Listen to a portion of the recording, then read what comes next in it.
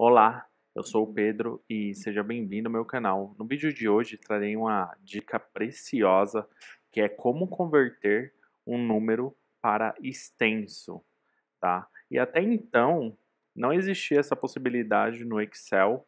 Eu fiz uma adaptação de uma função lá do Google Sheets, tá? Um, script lá do Google Sheets. Passei vários dias fazendo essa adaptação e testando, estressando para trazer a solução já pronta aqui para vocês. Então, conto com o apoio de todo mundo aí, deixar o like, se inscrever no canal e compartilhar, tá? Para me ajudar aí nesse, nesse processo de crescimento no YouTube. Bom, o script eu vou deixar na descrição, tá? Basta você preencher o form, seu e-mail, é, seu nome e e-mail, e você vai receber um link para a pasta do meu OneDrive e você vai conseguir resgatar esse arquivo aqui que é script converter números para extenso, ok?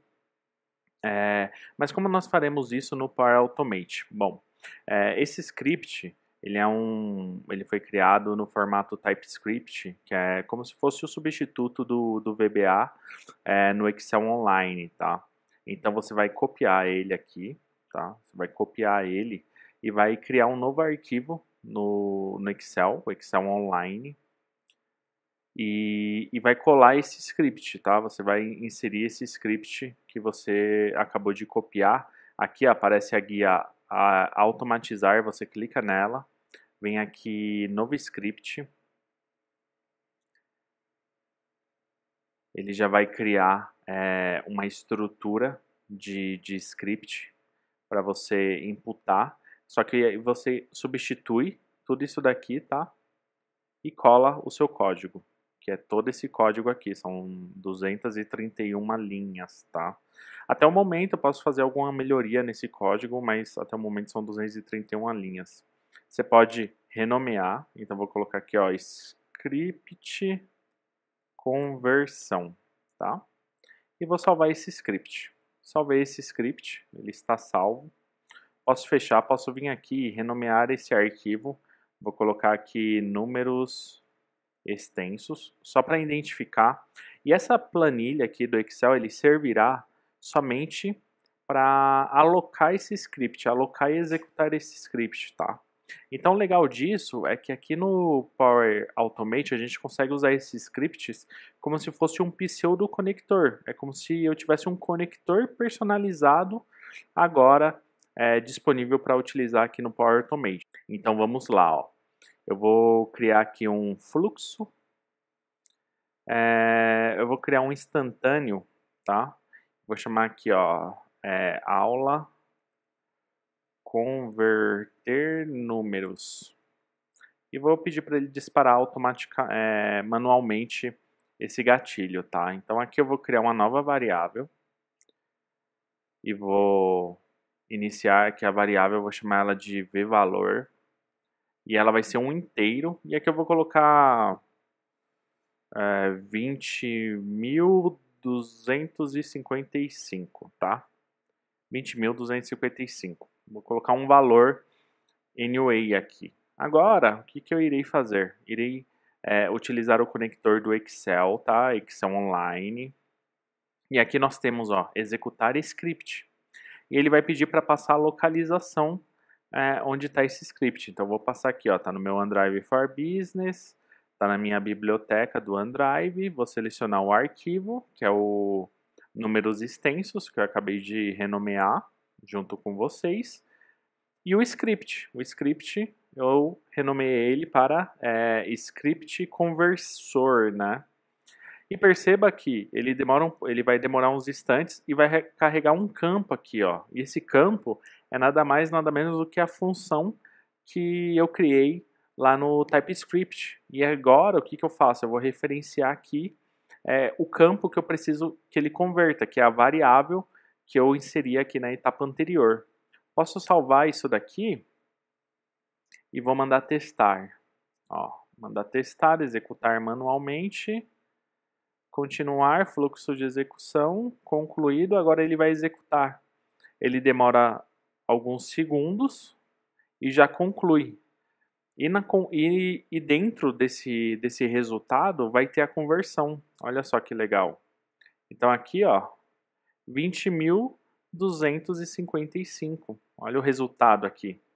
Tá? Então agora eu posso utilizar essa informação, posso pegar uma informação, trazer para o Power Automate, utilizar esse script e depois enviar o resultado. Tá? E esse exemplo que a gente vai fazer aqui. Ó. Eu vou aqui no meu SharePoint, tem um SharePoint aqui que eu tenho só para brincar, e eu vou criar uma nova lista nele. Espera ele carregar. Vou criar uma nova lista aqui, ó. Vou chamar de uma, uma em branco, vou chamar de lista números. Lista números. E vou mandar criar. Aqui eu poderia inserir os campos e tal, o cargo, geralmente ele vem com tipo texto, né? Então o que eu vou fazer? Eu vou criar uma nova coluna aqui, ó. Vou chamar ela de é, extenso. Opa, é, extenso, que é o resultado, ele vai ser é, um tipo texto, beleza? E vou criar uma outra coluna de número, que aqui vai ser o meu é, valor a converter. Eu não vou, eu não vou colocar o, o acraseado, não, vou deixar assim, valores a converter aqui, é, casa, número de casas decimais, vou deixar zero, tal, salvar. Beleza? Então aqui eu, tô, eu vou trazer isso daqui para cá. Essa coluna eu posso... Depois eu posso ocultar ela. Eu vou deixar ela aqui, ela não vai comprometer nossa, é, nosso exemplo aqui, tá?